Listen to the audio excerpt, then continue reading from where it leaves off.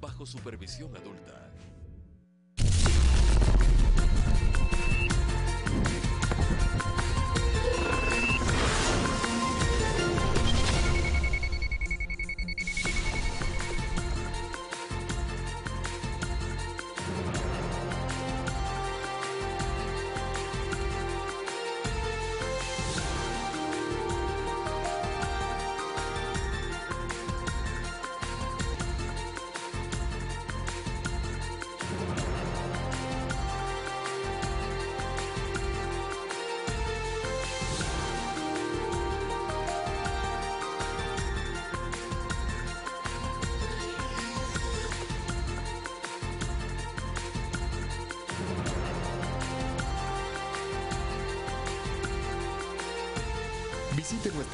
Sociales, arroba Telediario S en Twitter y Telediario S en Facebook.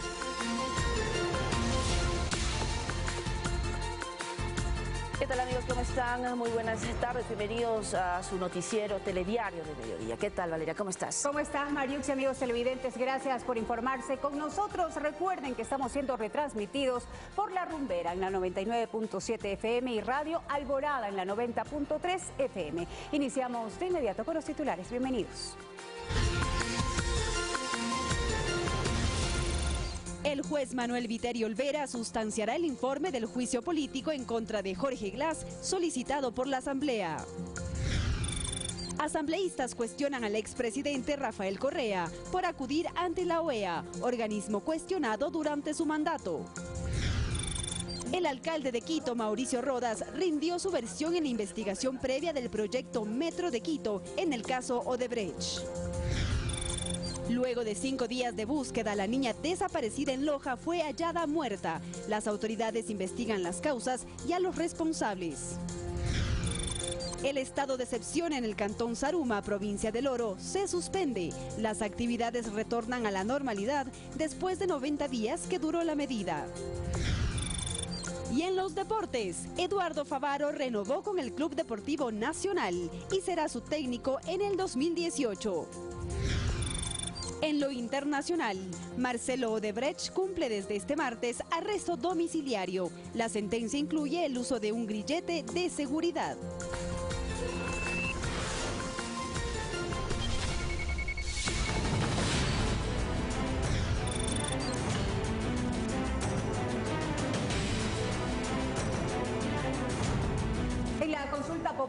Del 2018 nuevamente se impulsará la participación democrática de las personas con discapacidad. Y de hecho esta iniciativa se ha convertido en un referente con un premio otorgado por el Centro Internacional para Estudios Parlamentarios con sede en Londres. Ecuador se convierte en un ejemplo a nivel mundial. El país recibió un premio por permitir la accesibilidad de personas con discapacidad en las jornadas electorales. que es única porque le lleva el voto en la casa a la persona con discapacidad. Siendo el voto optativo, tienen una asistencia primordial casi con un ausentismo del 21%. Cristian Salazar es un comunicador con discapacidad de 45 años de edad. Afirma que ha ejercido su derecho al voto desde los 18 años. No dejaban que, por ejemplo, una persona me ayude cuando era obvio si yo no veo eh, cómo está diseñada la papeleta. Desde el año 2009, el país lideró la iniciativa de la inclusión de este sector de la población en los comicios. La, la gente, especialmente de las juntas receptoras del voto, ya colaboran para que las personas como, como yo puedan hacer el uso de su derecho. Para fortalecer la participación activa de más de 340 mil personas con discapacidad que hay en el país, el Consejo Nacional Electoral y el Consejo para la Igualdad de Discapacidades trabajan en conjunto. para brindar todas las facilidades a las personas, aunque estén en los lugares más lejanos, para que tengan eh, acceso a ese derecho. En la consulta popular y referéndum, 783 electores votarán desde su casa. Que no solo somos eh, parte de un proceso de participación, es el parte de la representación como actores de las decisiones de un país. Mientras que la segunda semana de enero se abrirá la convocatoria para la inscripción de las personas con discapacidad que necesiten ser trasladadas a sus recintos electorales el próximo 4 de febrero. Para Telediario reportó Valeria Villarroel. El Foro de Mujeres entregó nuevamente la documentación necesaria al Consejo Nacional Electoral para ser habilitado durante la campaña por el no en la consulta popular y referendo de febrero del 2018. Representantes de esta organización sostienen que existen otras vías para efectuar cambios, incluso con respecto a la pregunta relacionada con la no prescripción de los delitos contra menores manera exigir que se respeten los derechos de participación de todas las organizaciones sociales. Es una consulta popular tramposa. Esta consulta popular responde a los intereses de Guillermo Lazo. Consideramos que es un capricho y que en tiempos de austeridad el país no merece eh, que se destinen recursos a fines tan costosos. las preguntas, por ejemplo, del tema de abuso sexual, las preguntas, eh, las otras preguntas pueden ser tratadas por otras vías. Les contamos ahora primera deserción en el Consejo de Participación Ciudadana. Esta mañana renunció el consejero Javier Burbano. Aduce su inconformidad con la pregunta 3 de la consulta popular convocada para febrero. Daniel Montalvo nos informa. ¿Qué tal? Buenas tardes. En efecto, durante la sesión plenaria de este martes, los consejeros del Consejo de Participación Ciudadana conocieron la renuncia de su compañero Javier Burbano. El secretario del organismo leyó el texto de la misma y les presentamos el siguiente extracto en el que se plantean las razones. Solo hecho de someter mi cargo a una campaña de este estilo sería una circunstancia que altera drásticamente las reglas contempladas en la ley y la Constitución. Al respecto, las reacciones no se hicieron esperar. La presidenta del organismo dijo respetar la decisión de Burbano, sin embargo, no compartirla. Personalmente, quien le habla, no puedo darme ese lujo porque soy quien presido el Consejo, tengo que entregar un informe de gestión. Quien también se pronunció fue el vicepresidente del organismo, Edwin Jarrín, quien dijo también estar dispuesto a renunciar, sin embargo, lanzó una condicionante al presidente de la República y a varios líderes de la oposición. Si retiran esa pregunta de la consulta, la pregunta 3, una pregunta que instala una, una, una dictadura institucional en este país, si retiran esa pregunta, yo también entrego mi renuncia. Los demás integrantes del Consejo de Participación Ciudadana han descartado tener las mismas ejecutorias que su ahora ex compañero Javier Burbano. Hasta aquí el informe, buenas tardes. Daniel, muchísimas gracias por el completo reporte. Vamos a continuar con más noticias.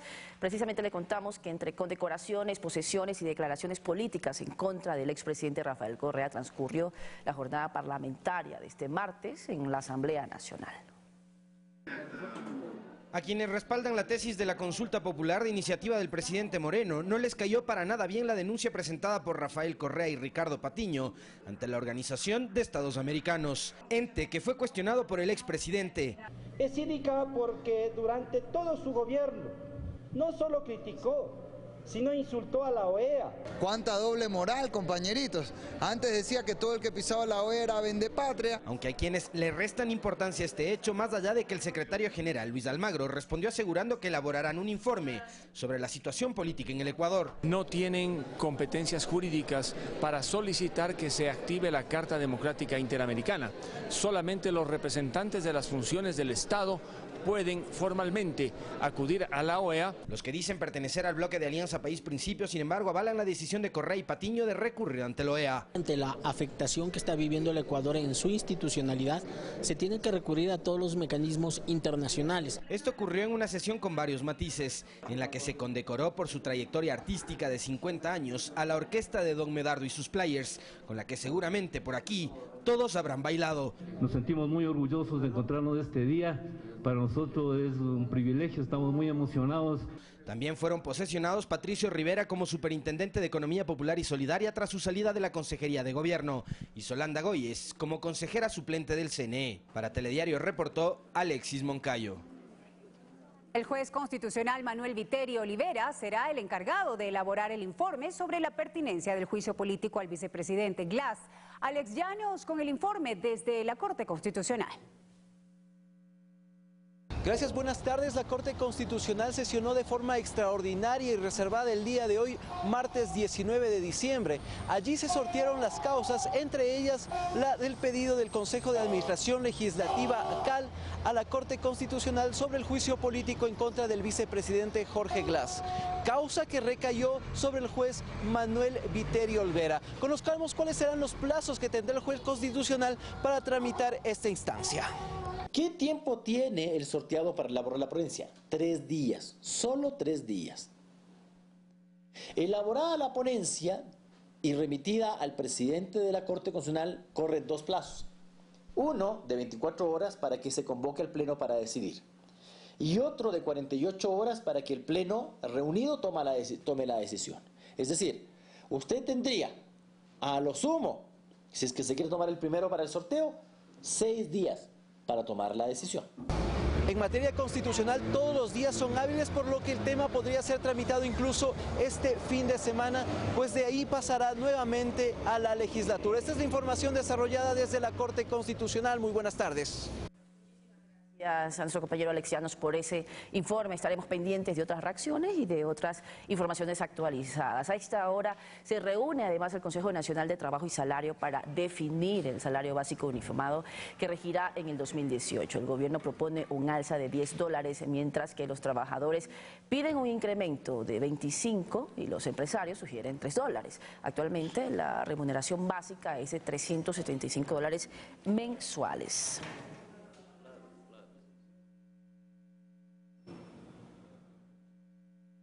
A esta hora vamos a dar la bienvenida a Mario Molina, él es asesor jurídico de la Central Única de Trabajadores CUT. Con él vamos a hablar de la fijación del incremento del salario básico unificado para este 2018. Muchísimas gracias por acompañarnos. De hecho, ya pues el Consejo Nacional de Salarios está reunido en este instante. Estaba previsto que sea la una de la tarde precisamente esta reunión para fijar ya el incremento del salario básico unificado. Eh, de parte de los obreros se está pidiendo 25 dólares. ¿Cuáles serían los parámetros técnicos para pedir este alza, este incremento? Este valor. Bienvenido. En eh, buenas tardes. Primero, invitarles a los trabajadores del país para que estén atentos al planteamiento que en este momento, justamente en el Ministerio del Trabajo, reunido el Consejo Nacional del Trabajo y Salarios, con los empresarios del Ministerio del Trabajo, analizando la propuesta técnica, la propuesta no demagógica de la Central Unitaria de los Trabajadores. Nosotros, como Central Unitaria de los Trabajadores Seria, e invocando el convenio 131 de la OIT, que fija los parámetros para determinar la elevación de la remuneración, en este caso para el año 2018, hemos considerado las variables económicas como son la proyección que se tiene de crecimiento país, que está más o menos en el 2.4%, según cifras arrojadas por el Banco Central del Ecuador, y una inflación del 0.99%, decirles a nuestros compañeros trabajadores de que el planteamiento nuestro es de 25 dólares para el próximo año. Pero ¿de qué forma ustedes respaldan técnicamente que ustedes pidan esos 25 dólares? Técnicamente estamos considerando el valor y la diferencia que existe entre la canasta familiar y el salario básico unificado, que más o menos es de unos 7 dólares, y los factores económicos, consideramos de que las medidas económicas implementadas por el gobierno nacional van a tener su incidencia y los eh, inversionistas extranjeros van a venir a invertir en el país. Creemos que el empresariado ecuatoriano representado en esta ocasión por el Comité Empresarial Ecuatoriano va a asumir con seriedad también el, eh, el nivel de crecimiento económico que nosotros estamos con eh, expectativas y optimistas de que va a tener el país. En ese sentido, consideramos de que existiendo una proyección de inflación del 0.99 y, y un factor eh, económico del 2.4%. ¿Que correspondería a cuánto? ¿Unos 10, 11 dólares? más o menos a unos de 11 dólares más los 7 dólares de la canasta familiar, más o menos de unos 21 dólares, pero nosotros creemos por estrategia de negociación le estamos eh, planteando el incremento de 25 dólares para este próximo año. Ahora, de parte de, los empleadores se está pidiendo un incremento de tan solo 3 dólares, ¿no? Ellos que dicen, 366 dólares es el salario básico actualmente con un alza de 12 dólares en relación a lo que era el salario básico para el año 2015, ¿verdad? Estamos en eso de acuerdo. Sin embargo, lo lógico no sería pedir un incremento de acuerdo a la inflación. ¿No se estaría de alguna forma quitando competitividad? Al país cuando se toca pagar un poco más y tal vez toque a los empleadores eh, despedir a ciertos eh, obreros, que no es lo que se está buscando realmente con esta medida.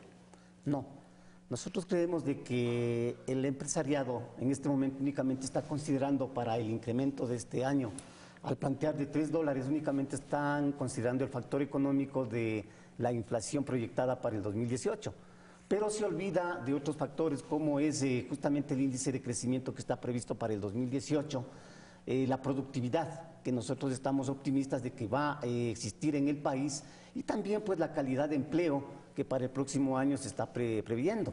En este sentido, si consideramos de que las medidas económicas implementadas en el país por el presidente Moreno van a incentivar la producción, va a ocasionar la venida de inversionistas extranjeros para generar pues, fuentes de empleo. En ese sentido, considerando técnicamente los factores que establece la Organización Internacional del Trabajo, consideramos de que la posición del empresariado ecuatoriano en este momento no se ciñe con la realidad y el planteamiento que hicieron en el año fenece. En ese sentido, más bien, la central ecuatoriana de la, central unitaria de los trabajadores invoca a la seriedad, a la seriedad y responsabilidad del empresariado ecuatoriano para que asuma, como sucedió el año pasado, por unanimidad, sacar un solo criterio para no dejar única y exclusivamente al Ministerio del Trabajo que fije el salario que está eh, previendo para el próximo año. Y hay una brecha muy, muy amplia, ¿no? Estamos hablando de los 3 dólares que piden los empleadores y, eh, y de los 11 días de acuerdo al 2% de inflación, de acuerdo a lo que termina el Banco Central y además los 25 dólares que se está pidiendo desde, la CUT. ¿Cuál sería ese intermedio entonces? ¿Ustedes estarían dispuestos a aceptar eh, de, alguna forma lo que el día de hoy se proponga después de esta reunión que se está manteniendo ya a esta hora? La responsabilidad y la seriedad que tienen nuestros representantes en este momento en el Consejo Nacional del Trabajo y Salarios, compañeros Osvaldo Chica y Richard Gómez, tienen una responsabilidad eh, bastante enorme y han recogido ellos las disposiciones de nuestros representados en las 24 provincias. Ellos tienen las directrices y es obvio por estrategia de negociación no se podría en este momento lanzar al aire porque justamente en este momento están reunidos. Yo sé que ellos van a tomar una decisión la más eh, loable que venga a satisfacer los requerimientos y las exigencias de la clase trabajadora del país. ¿Tiene algún parámetro del cual iban a aceptar? ¿Conoce usted como asesor jurídico? Los parámetros están determinados en el eh, monto que yo le he manifestado, que son los 25 dólares. Ellos sabrán tomar, dependiendo también el, eh, las estrategias que hayan adoptado la, el Comité Empresarial, Ecuatoriano y el Ministerio del Trabajo. Pero yo entiendo de que, dadas eh, los momentos de diálogo, de conversaciones que se han mantenido, yo creo que los resultados que nos van a arrojar el día de hoy va a ser de entera satisfacción de nuestros representados. Esperemos entonces cuáles son los resultados para no adelantar criterios en todo caso. Muchísimas gracias Mario Molina por acompañarnos en este espacio de entrevistas y de hecho este martes en las entrevistas también de Telediario La Mañana se analizaron la situación, por ejemplo, de las denuncias de abuso sexual en planteles educativos. También la denuncia del expresidente Rafael Correa ante la OEA y el papel de la Corte Constitucional en el juicio político al vicepresidente Jorge Glass.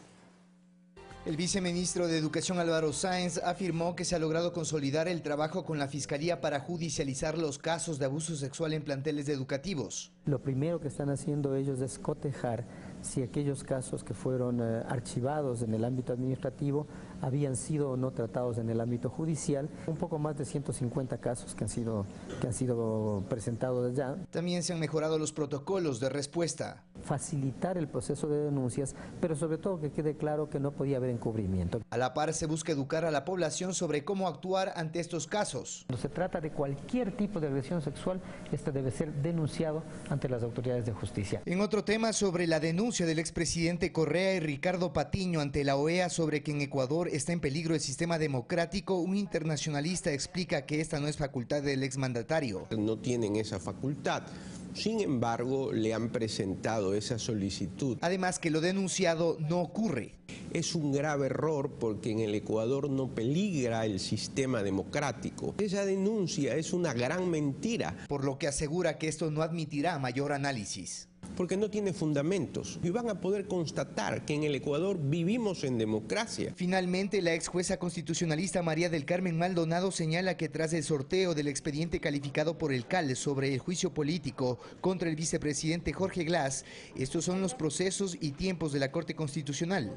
Para la elaboración de este proyecto, el juez ponente cuenta con tres días. Luego de eso, lo que corresponde es que el presidente de la Corte Constitucional convoque a un pleno. Para esta convocatoria hay un plazo de 24 horas y para el dictamen hasta 48, con lo cual regresaría a la Asamblea para su trámite ante la Comisión de Fiscalización.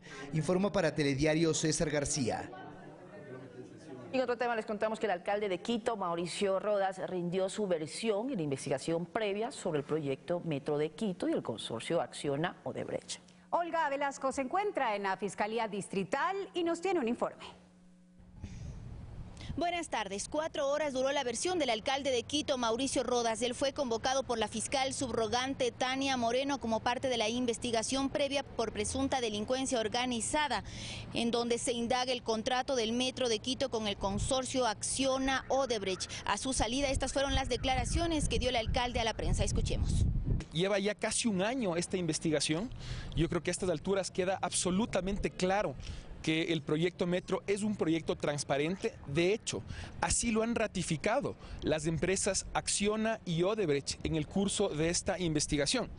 Yo desde el inicio, hace un año, manifesté siempre que estaría dispuesto a colaborar con cualquier investigación que se emprenda. Y así lo he venido haciendo durante todo este año. Hemos venido aportando toda la información que se nos ha requerido y en esa misma línea el día de hoy hemos comparecido ante esta audiencia para rendir nuestra versión libre y voluntaria. Para este lunes también fueron convocados los hermanos del alcalde Mauricio Roda, sin embargo ellos no asistieron. Para una tercera ocasión serán convocados a través de la fuerza pública. Al respecto también se refirió el alcalde mi equipo de trabajo, mi familia, yo mismo, siempre hemos estado y estaremos listos y con total disposición para colaborar con cualquier investigación que se desarrolle, pues no tenemos absolutamente nada que ocultar.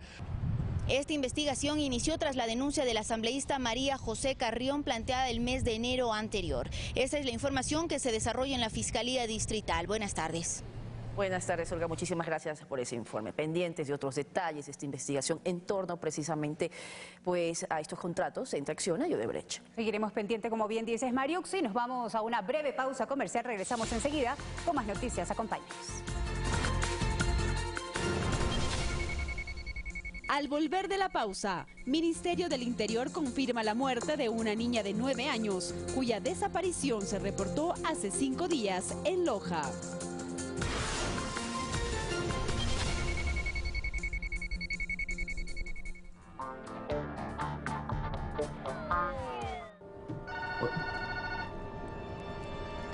Hola. Hola. Sí, con Diana, por favor. No, ahora no está. ¿De parte de quién? ¿Qué será lo que Diana está ocultando? Doctora, ¿me va a decir quién es? ¿O te voy a tener que investigar como hiciste vos conmigo? Verano Eterno. Hoy, 17 horas.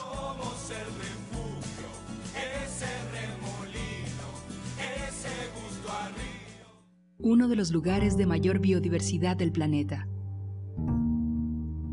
Es donde se ubica la Universidad Regional Amazónica ICAM. Está en las estribaciones de la Reserva Biológica Colonso Chalupas, que es el área protegida más grande ICAM se ha propuesto crear conocimiento desde la Amazonía. Creo que una de las ventajas que tiene la Universidad ICAM es que desde el inicio combina docencia e investigación, dándole gran importancia a la investigación con los estudiantes. El telégrafo se renueva con un nuevo diseño y muchas novedades para mantenerte informado. Un resumen de noticias claro y concreto, con la información más completa del día. La sección deportiva Fanático se amplía para traer los acontecimientos más importantes del mundo del deporte. Los protagonistas de la noticia tienen un espacio en el personaje de la semana. El Telégrafo, el diario de la gente.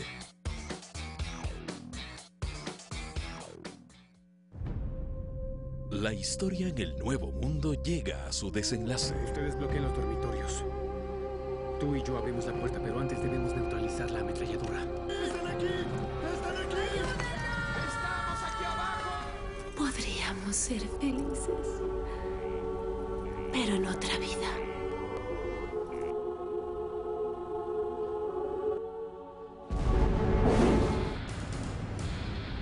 Tierra Indomable. Capítulos finales. Yo estoy contigo. Siempre. De lunes a viernes 23 horas 30.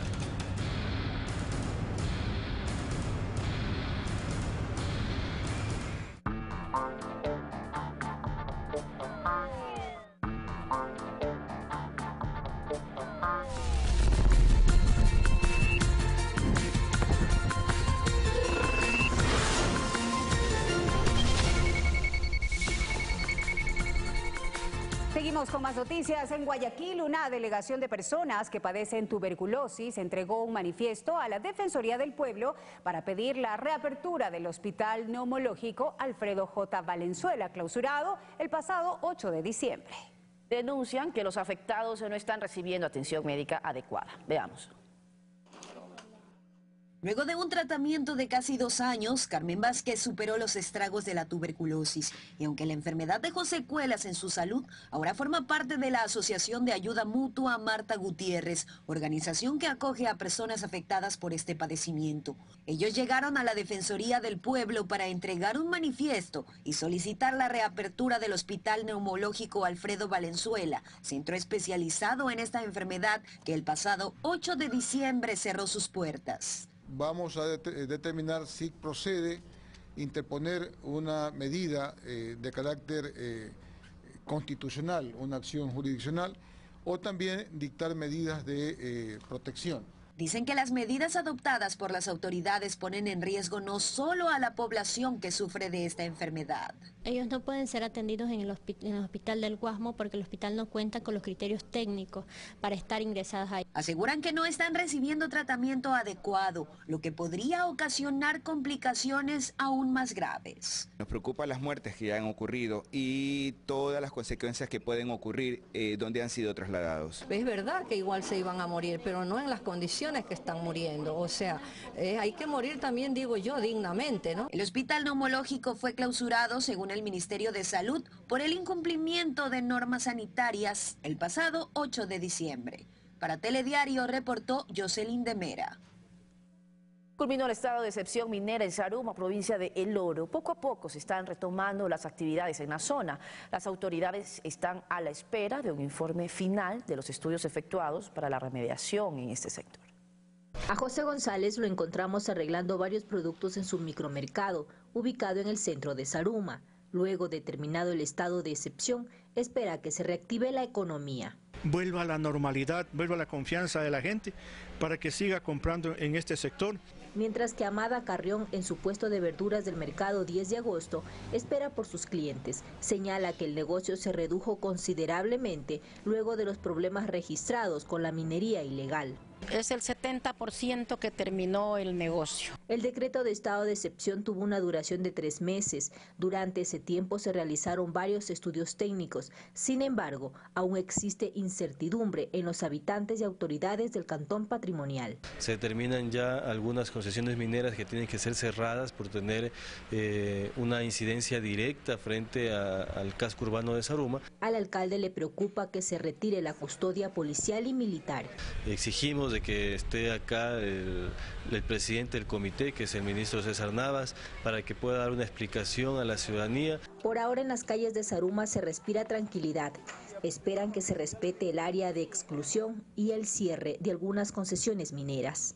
Reporto para Telediario, Maritza Castillo.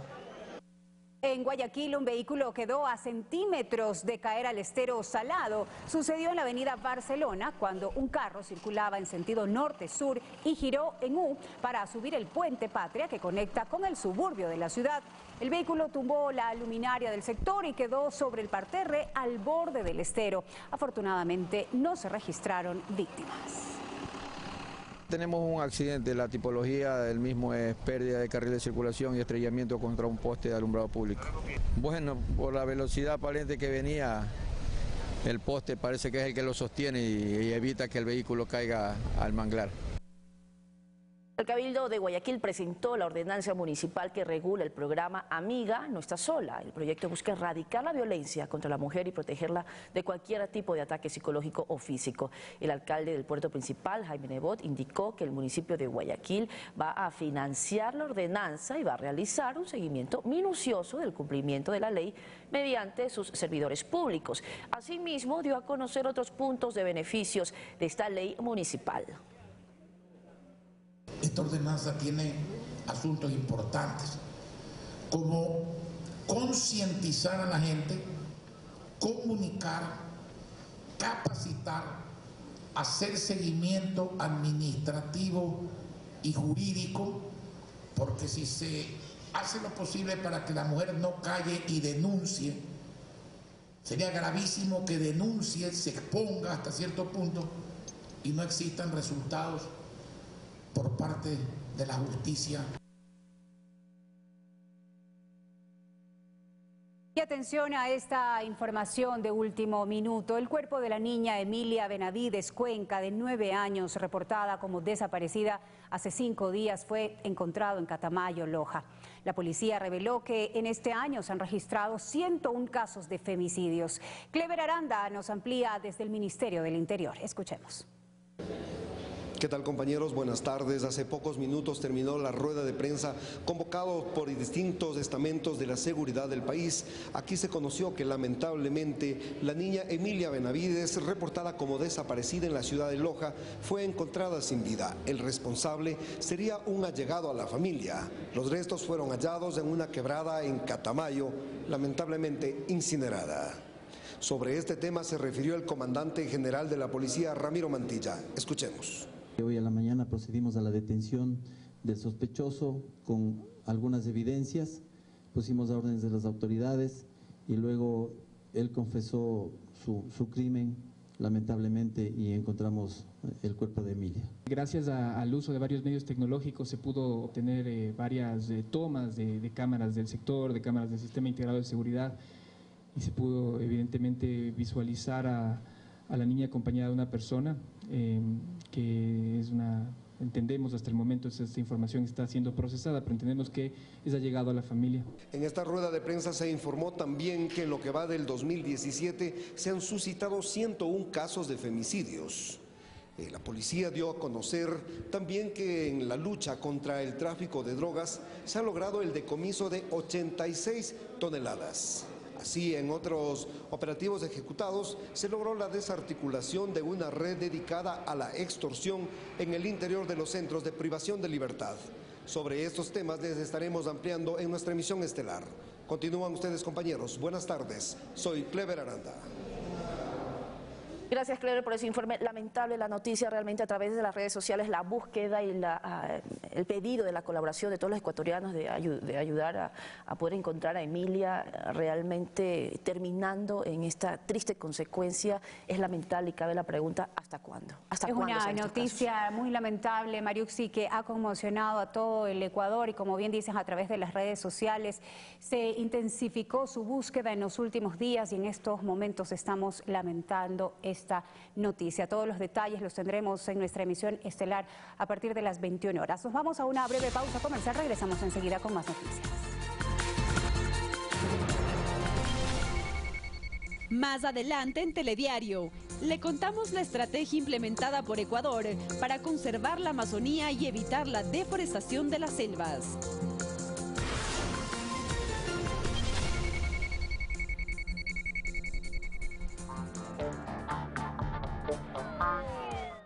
Son 6,53. ¿Cuál es su forma de pago?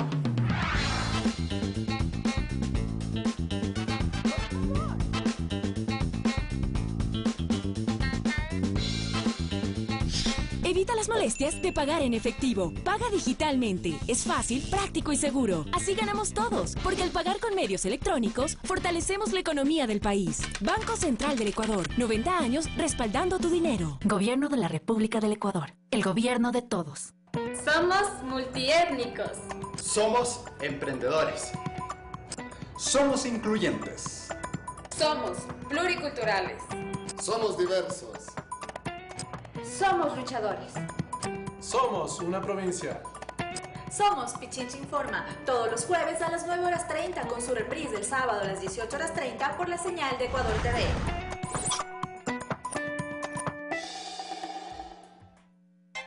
Los mejores autores y compositores en un solo lugar. Yo no olvido al año viejo, porque me ha dejado cosas muy buenas. Ay, yo no olvido al año viejo, porque me ha dejado cosas muy buenas. Mira, me dejó una chiva, una burra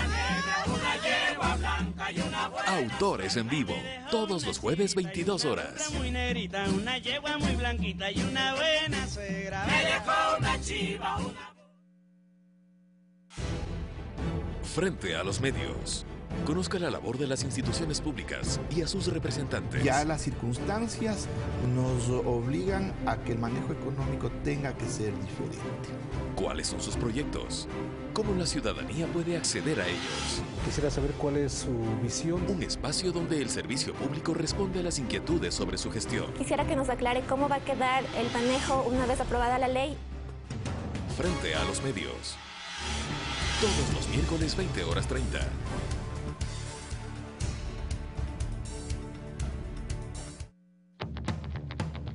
Tus mañanas nunca volverán a ser iguales. Junto a Café TV.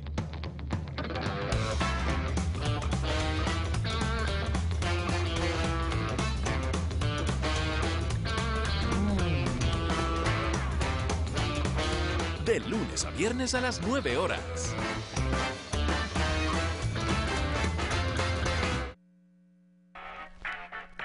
Grandes Maestros presenta a Jean-Jacques Roux. La igualdad de la riqueza debe consistir en que ningún ciudadano sea tan opulento que pueda comprar a otro y ninguno tan pobre que vea la necesidad de venderse.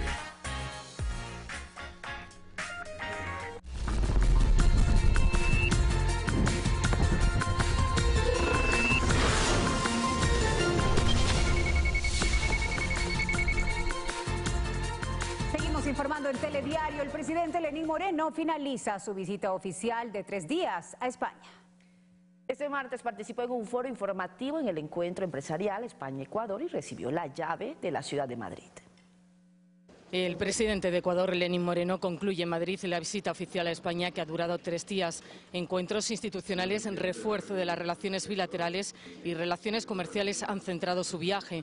Durante la tribuna informativa de la agencia EFE en Casa de América, Moreno se ha referido a la anterior etapa política de Ecuador. No me gusta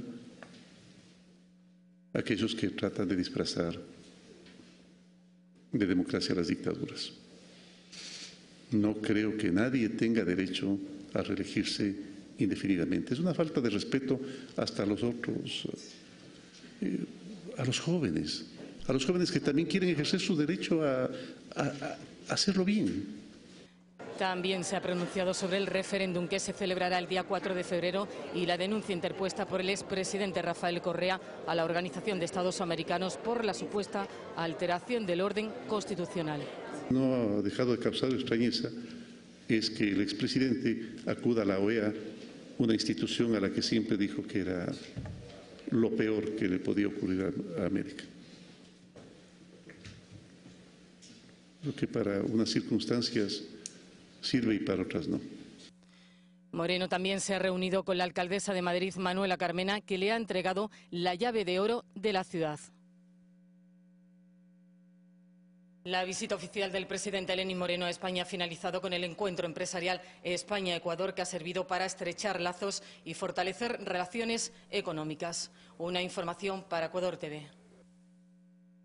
El gobierno ecuatoriano logra el apoyo de ocho países amazónicos que el 2018 se sumarán a una iniciativa de conservación para alcanzar bajas tasas de deforestación.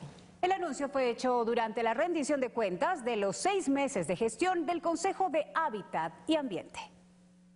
Se sentaron ante los medios para revisar los logros en la gestión de siete meses del Consejo Sectorial de Hábitat y Medio Ambiente, conformada por el MIDUBI, Senagua, Ministerio de Ambiente y Consejo de Gobierno de Galápagos. En materia medioambiental, las autoridades afirmaron que en ese tiempo en el país se han creado nuevas zonas protegidas, se controla la deforestación y se inició la repoblación de fauna en la Reserva Chimborazo. Y hacer un compromiso que hemos llamado la iniciativa amazónica. Los presidentes de los ocho países amazónicos hagan tres cosas. Primero, se comprometan a una deforestación neta cero para 2030 en la Amazonía. Segundo, a la protección de los pueblos indígenas, principalmente aquellos que viven en aislamiento voluntario. Y tercero, la conservación y protección de las aguas de la cuenca más importante de agua dulce del mundo. Respecto al agua, la Secretaría Nacional que regula este recurso natural destacó el fortalecimiento en la gestión comunitaria, además la aplicación de nuevas políticas públicas con las que se permitirá el funcionamiento del plan gubernamental Misión Agua y Saneamiento para Todos. Con esta misión vamos a combatir todas las enfermedades de origen hídrico que al Estado ecuatoriano nos representa al año 310 millones de dólares. En temas de vivienda, desde el Midube se anunció que a la fecha ya son más de 11 mil incentivos de viviendas entregadas a damnificados por el terremoto de abril de 2016. La principal de este ministerio aseguró que el Banco de Terrenos registra 1.331 propiedades en proceso de validación. 131 ya han sido calificados, por lo que estiman que para el 2018 se iniciará la construcción de más de 64 mil nuevas casas que formarán parte del Plan Casa para Todos. Y por supuesto hay otras estrategias que en el marco no solo de alianzas públicos-privados, sino también de conversaciones del equipo económico para acceder también a financiamiento para el desarrollo del programa Casa para Todos está, está implementando. Ubelonofre Telediario. Más adelante en Telediario, luego de pasar dos años en la cárcel, el empresario brasileño Marcelo Odebrecht fue trasladado a su domicilio donde completará su condena de 10 años.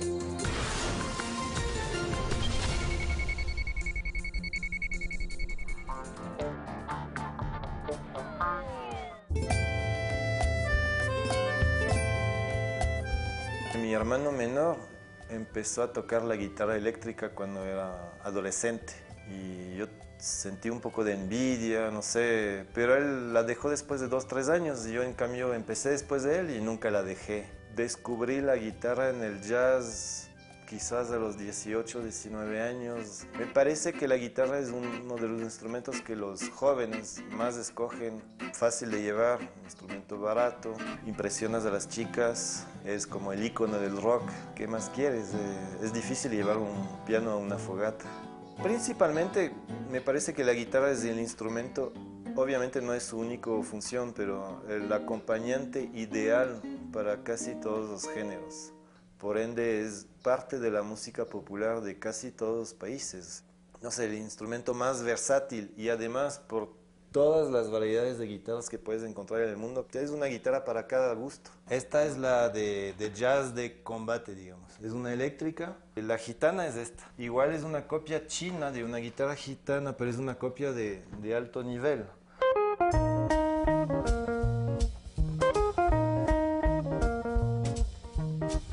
Jazz inicialmente puede provenir de lo que es el blues, de lo que es el negro espiritual, que es una música de un poquito melancólica, de bastante religiosa, de, de queja, de alegrías. El infinito rojizo muere perezoso. Niña, no te asustes, acaricia las nubes. Empecé a tocar hace como 20 años jazz gitano. Y desde que estoy en Ecuador, básicamente es el género que más he tocado. Bueno, les invito a todos a descubrir el maravilloso mundo de la guitarra, tocar un instrumento musical espiritualmente, no sé, anímicamente, afectivamente, es como ir de la mano en esta vida tragicómica con alguien, ¿no? Con, con alguien real. La, guitarra casi es como un amigo, una persona que te acompaña toda la vida, así que no se intimiden, empiecen a tocar guitarra. Zona brava sin salvavidas, la ciudad es para mí.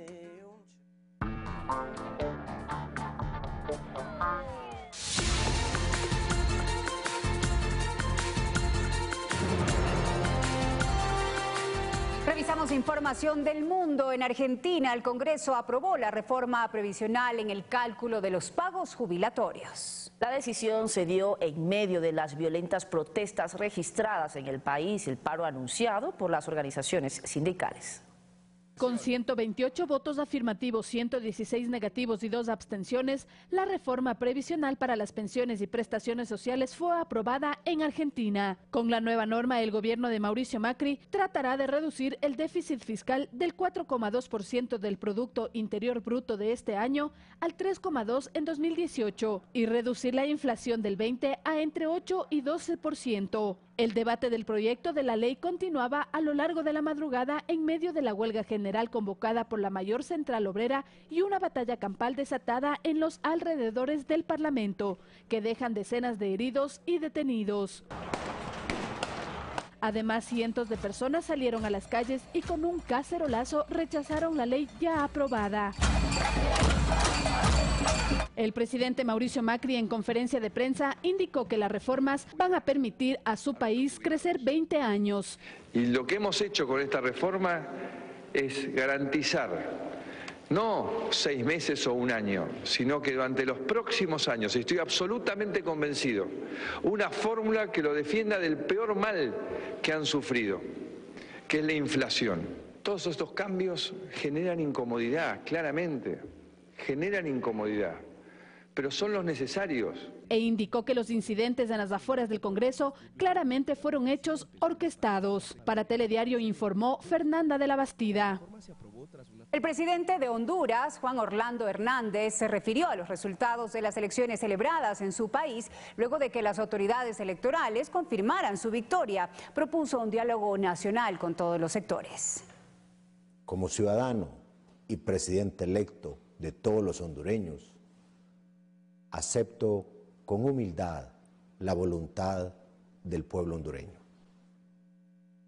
Considero que no es momento para triunfalismos, tampoco es momento de celebraciones. Sí es momento de agradecer desde el fondo de mi alma que las pasadas elecciones revelan una recomposición del terreno político y la necesidad de construir con el concurso de los hijos de esta tierra bendita un consenso nacional que nos permita trabajar en un nuevo país. El empresario brasileño Marcelo Odebrecht fue trasladado este martes a prisión domiciliaria donde completará su condena de 10 años. Esto luego de pasar dos años y medio en una cárcel de Curitiba. Llegó a su mansión de 3.000 metros cuadrados donde se reencontró con su hija y también con su esposa.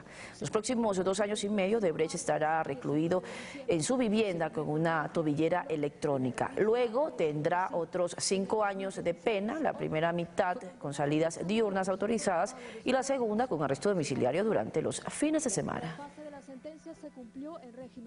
La justicia de Perú declaró inadmisible el recurso de casación que interpusieron el expresidente Ollanta Humala y su esposa Nadine Heredia en contra de la resolución que dictó la prisión preventiva por 18 meses. Con esta denegatoria, la expareja presidencial continuará afrontando bajo prisión la investigación por presunto lavado de activos.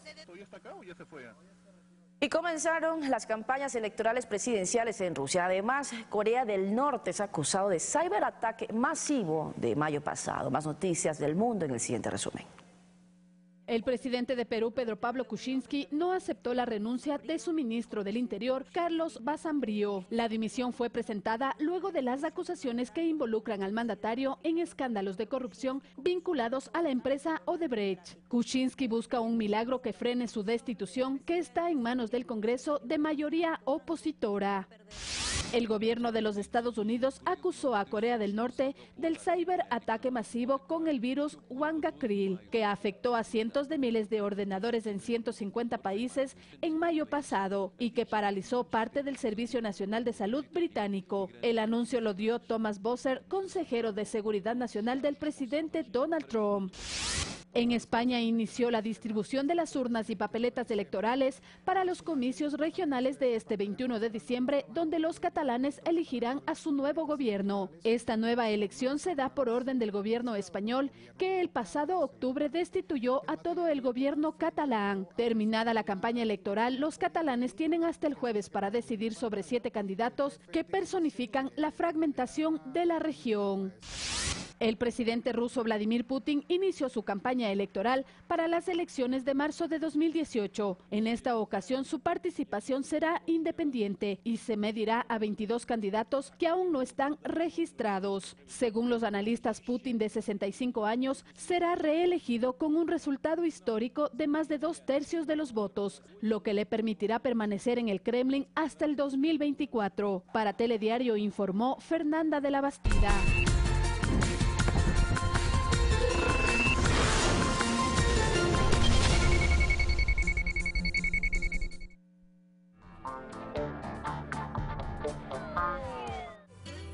Acompaña a Garo Arellano en su búsqueda de compatriotas.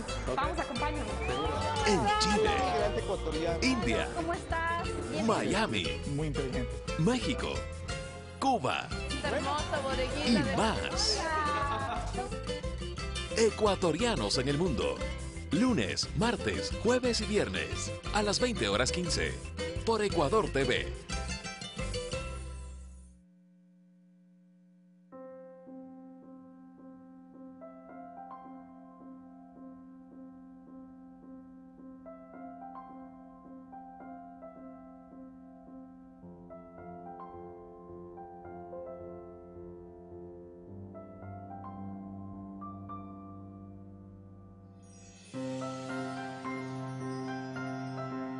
En Navidad, sorprende. Contrata tu plan de internet de 5 megas de velocidad y telefonía para tu hogar desde 28 dólares con 81 mensuales y obtienes llamadas ilimitadas a fijos y móviles. CNT, lo que eres. Grandes Maestros presenta a Miquel Alcina. Una cultura no evoluciona si no es a través del contacto con otras culturas. Este fin de semana, Una pareja que venía desde Achupayas, en tiempos de la colonia, se acercó a una laguna para descansar. Su mujer estaba dando de lactar a una culebra. Antes de morir, advirtió a la mujer que en tres meses ella iba a dar a luz y que ese hijo debía ser dejado en la cueva de la cascada de ese río. Pasando los páramos del Chimborazo, arreando el ganado bravo, vamos en busca del tesoro de Espíndola.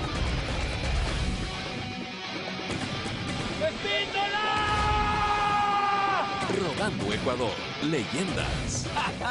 Este domingo 19 horas.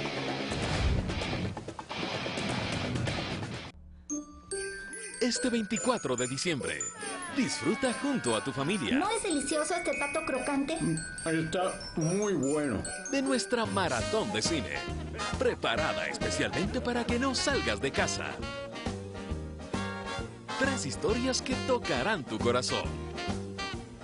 El mayordomo. Balada para un ángel. Y como caído del cielo. Este domingo desde las 17 horas.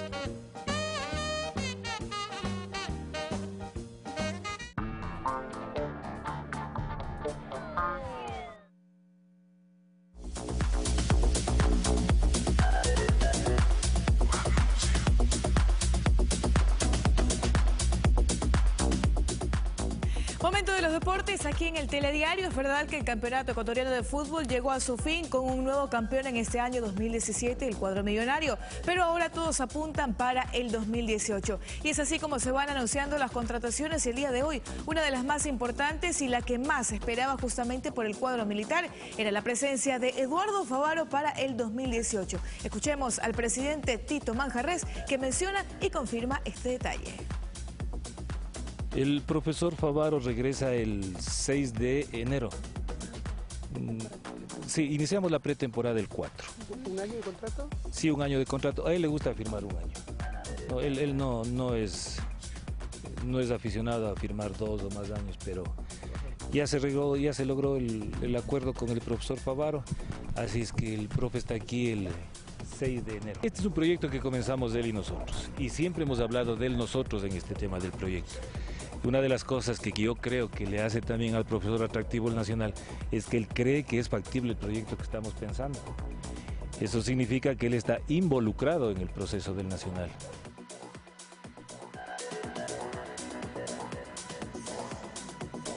Excelente noticia para el Nacional y también para el fútbol ecuatoriano. Gran director técnico que permanecerá justamente acá en el campeonato. Eduardo Favaro seguirá siendo entrenador del único vitricampeón.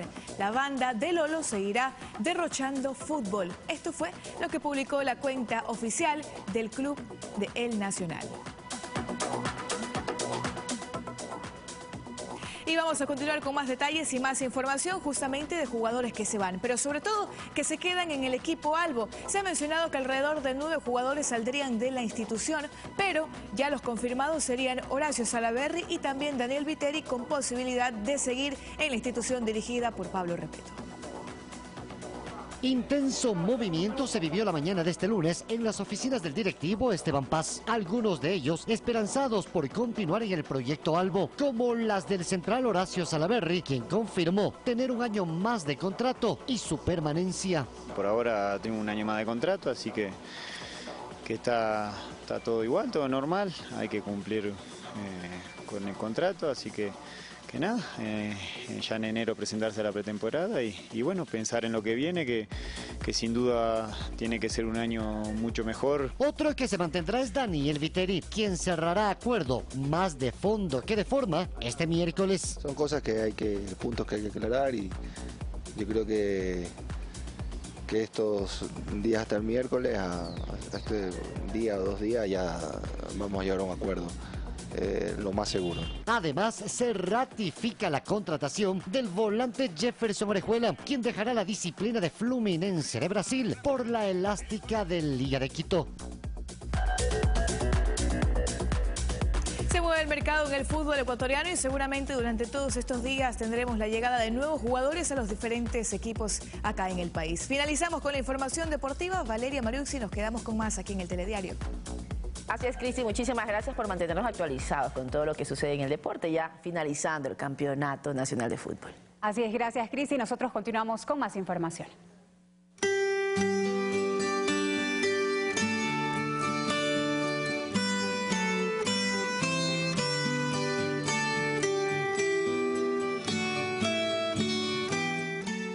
Los alumnos de un centro de manualidades en Guayaquil descubren habilidades que ni siquiera sabían que tenían. Se trata de personas con discapacidad que crean hermosos diseños de Navidad. Un ángel con vestido amarillo es la última creación de Rosa Elvira Núñez. Ella es oriunda de la isla San Cristóbal de Galápagos. Estuvo varias semanas en Guayaquil por un tratamiento médico, pero aprovechó el tiempo y su habilidad con las manualidades. Es laborioso y me he quemado bastante los dedos. Ya terminó.